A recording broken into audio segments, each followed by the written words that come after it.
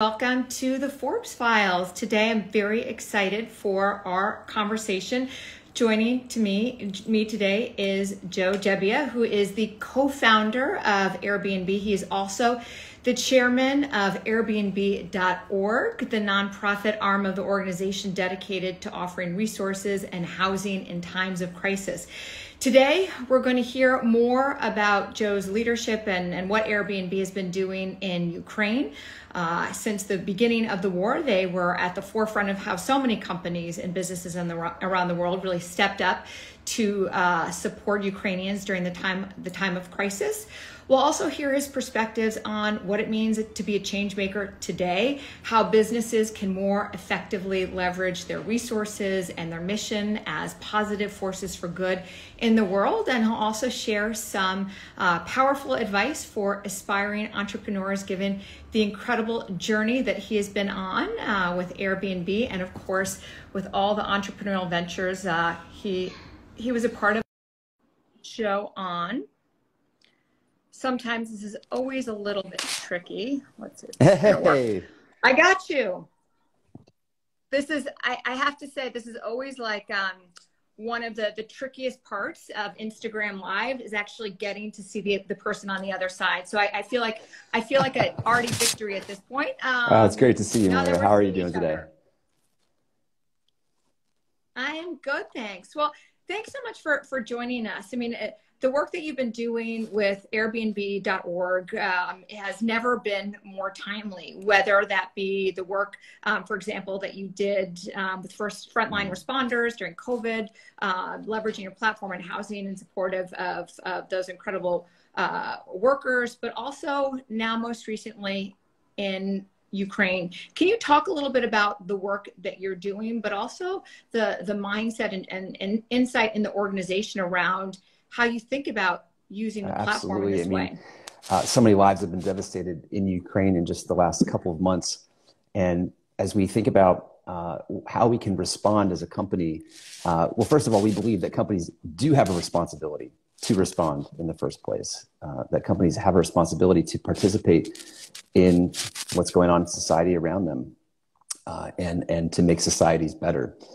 And so, you know, as we saw the, the tragic events unfold, uh, starting back in February, it became clear pretty early on that this was going to be one of the largest humanitarian crises in Europe since World War II. And certainly that has played true today. There's over 5 million people displaced and, and fleeing from Ukraine, uh, spreading out through Europe. And so we asked ourselves, how can we help? And uh, the answer was through Airbnb.org, which is a platform that allows people, our hosts, uh, and anyone with a home to offer to somebody in a time of crisis. And platform actually is a history that goes back to a host in New York City when Hurricane Sandy struck in 2012. A host named Shell reached out to us and said, Dear Airbnb, how can I volunteer my empty guest rooms for free to those displaced by the hurricane? And it really inspired us to think more deeply about our service. What if we took the same matching technology that we use to help people find a great vacation destination and we repurpose that to help people find shelter in times of need and to match a guest with a, a generous host? And certainly from those early days in uh, New York and Hurricane Sandy, uh, we've been able to house 100,000 people uh, after wildfires in Canada and Malibu to um, uh, earthquakes and typhoons in, A- in Asia. Uh, it's been incredibly rewarding to see how the Airbnb host community steps up to help out.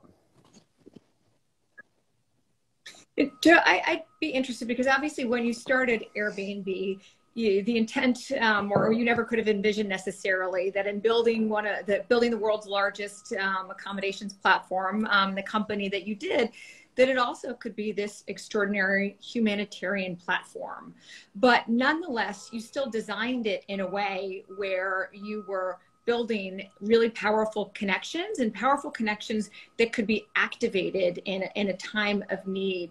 Can you talk about how you thought about and designed the company in a way that that created this opportunity for you all to step up in so many significant I, you know, ways. I wish I could say years. it was intentional, um, uh, but I think going back to the early days of the company, there's a, a famous email between Brian, Nate, and myself, my co-founders, about wanting to, to build some element of social good into our platform from the very beginning. And I remember we all got excited about the idea. It was August 2008. We're sitting around our table in our living room, which is our makeshift office. It's just the three of us. And we have to launch our website. And we stack ranked all the things that had to happen to launch our company. And, and this social good part was at the very bottom. And so it was an idea that's been around for a while. And we finally got to circle back to it when we launched Airbnb.org. Uh, and I guess what I have to say is what I've seen over 14 years of being with Airbnb since the beginning is that this idea of hospitality is not specific to a certain location. It's it, the idea of taking somebody in is actually a global concept, and it goes back millennia. Uh, I've become an informal student of this topic, and if you study different cultures, the idea of hospitality and taking in strangers goes back thousands of years. Uh, in Greek culture, there was a Greek goddess named Xenia, which informed residents to take in a stranger and provide a meal. Uh, in India, there was a phrase, Atithi Devo Bhava, which means the guest is God. And if someone knocked on your door and you knew them, you were to treat them like a prophet. If they knocked on your door and you didn't know them, you were to treat them like a god. And I could go on. Every country has some code of ethic of how to treat the other. Uh, and so I feel like, you know, through Airbnb, we've we've enabled something that's been a long part of human history. We've done it through the internet and a trusted platform. And I think when you see people step up in times of need to offer their homes, offer shelter, a safe place to stay, uh, it's really just tapping into something that's been innately part of, of humans since the, the earliest days. If you couldn't have obviously predicted the the use case of, of Airbnb and in terms of humanitarian efforts, obviously in the early days, you nonetheless were very conscious around social good being, um, you know, a, part of the DNA of the company as as you grew and the like. As you look at the past two years in particular, going from COVID to how quickly you, you deployed resources, how quickly your community, more importantly, really activated and looked to you all to to, to help channel their passion to, to be a force for good. What has surprised you in that process? And what's been the biggest lesson you've learned as a leader? Oh, there's, there's been plenty. Uh, one that stands out is I think going forward, companies will be required in different ways uh, to be forces of good for society. And those forces that, that change may come from a couple different areas. Maybe from founders who deeply care about this, maybe from employees who work at their companies and demand it uh, maybe from the communities that companies operate within, and lastly, maybe from governments that, that regulate and, and require it. Um, so I do think that at this time in business history, going forward, companies will need to prove how they're also good for society besides just turning a great profit. Uh, consumers are demanding it, employees are demanding it, et cetera. Um, so I do think we are at, at some inflection point of how to think about companies operating in the world today. Uh, you know, there's uh, the famous quote from Milton Friedman, the economist in the 1970s, that said, the social purpose of a company is to maximize shareholder profit. And I think that probably worked for a, a while, but I think it's probably time to update that quote because shareholders are just one of many stakeholders that companies interact with their employees, their investors, their consumers, and the cities and states and countries that they operate within. And so at Airbnb, we take a stakeholder approach, which is investors are one of many, our guests, our hosts, our employees, our investors, and the communities that we serve in.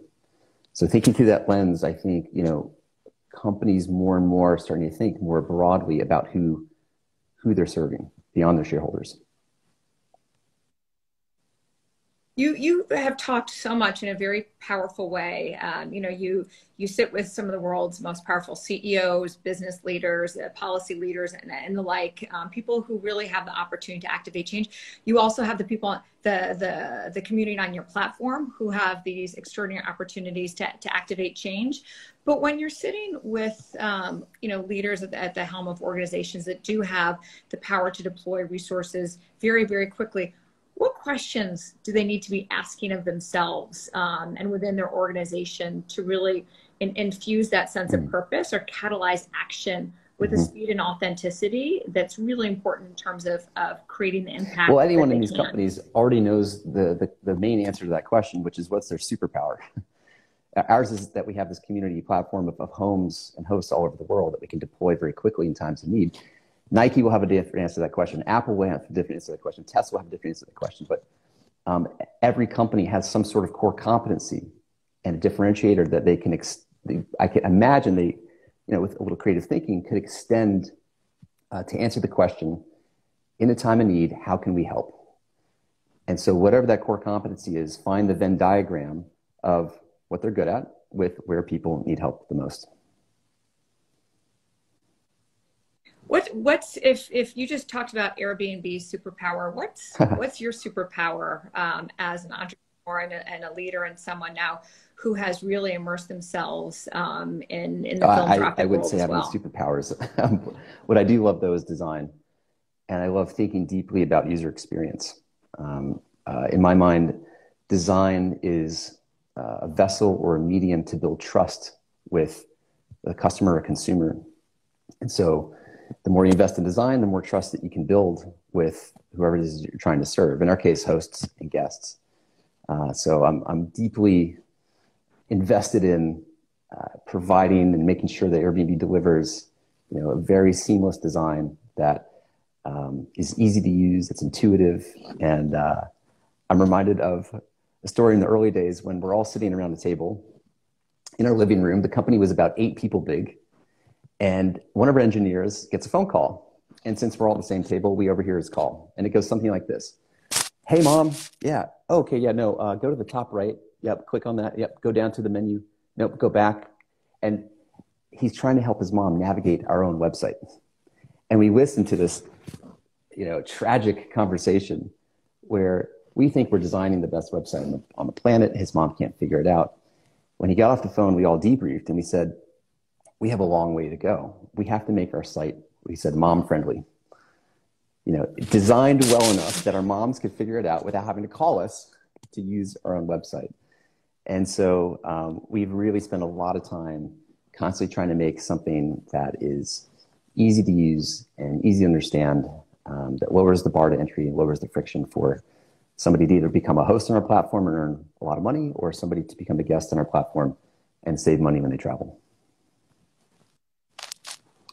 You mentioned that the design is this this opportunity or this conduit to build trust. If if you know, trust is paramount paramount in, in terms of whatever type of relationship um, we have, whether it be in the business arena or personal lives. Can you take that one step further around how people can think about design differently, not just creating a great user experience, but what it means in terms of? I think trust? if you want to zoom into it one level deeper, um, you can look at the term design thinking which has been very popularized over the last, I'd say, decade plus, uh, especially in Silicon Valley. And, you know, I think design thinking actually it's a, a shortcut for what it actually represents, which is understanding the people that you're designing for. That's all design thinking is. It's taking the time to go out into the world and deeply understand with a you know heightened sense of empathy who are we making this product for? Who are we creating who's this company serving?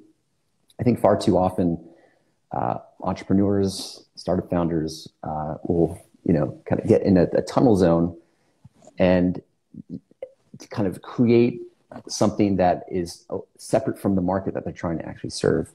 And, and we, we fell into that trap in the early days. uh, and it, it, wasn't until a mentor of ours, Paul Graham from Y Combinator, gave us the best piece of advice that we ever got. He said, go meet your people. And as a tech company, as a tech startup, it's a little bit antithetical to the Silicon Valley formula, which is you code your way through problems, you code your way to scale, and you don't do anything that doesn't scale because that's not the way that successful companies were formed. But it's actually quite the contrary. If you look under the hood, the best way to actually even get to scale in the first place uh, is to do things that don't scale. And so Paul's advice to us was to go to our market, which at the time, New York City, we had about 40 hosts, believe it or not, 40 people signed up to host. And we went and met every one of them. And in talking to them, Moira, we learned exactly what was wrong with our product. people would tell us all the deficiencies, all the features that were missing. And we took that input, we came back to San Francisco to our apartment, in that living room table, and we started to iterate and actually make changes based on direct observations of how people were using our service in the real world. They call that ethnographic research. You go out into the environment of the person that you want to understand, see them on their own laptop. You know, in our case, using a Windows PC with Internet Explorer 6, which we didn't even design for. and it's causing all kinds of bugs and all kinds of issues for people. Um, but that cycle. But it, but it brings you right, you know, right, right to, to your point earlier, to right to the, to the needs, the wants, and the problems that you're trying to solve for for this consumer.